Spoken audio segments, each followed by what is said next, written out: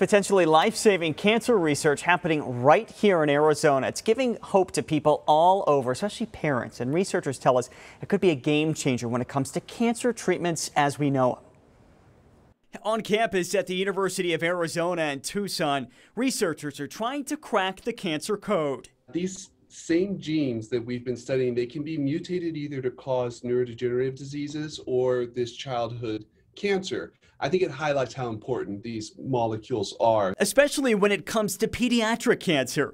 And one in particular could unlock the secrets about cancers across the board.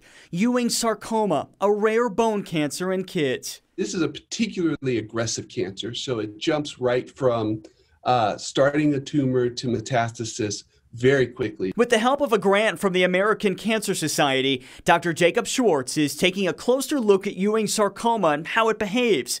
Dr. Schwartz says it's also helping them understand other cancers along the way. We can gain a much deeper understanding and a more detailed understanding of why this cancer uh, is caused, why it's progressed, and possibly come up with, and I think we will come, we are coming up with uh, whole new ways and paradigms of thinking about cancer therapy that would have immediate implications on other cancers.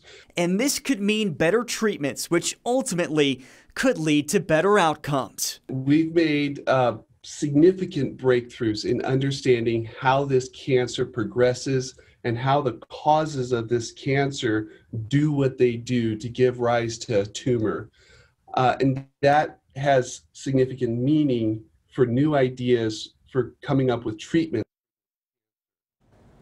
And each year, nearly 16,000 kids right here in the U.S. get a cancer diagnosis.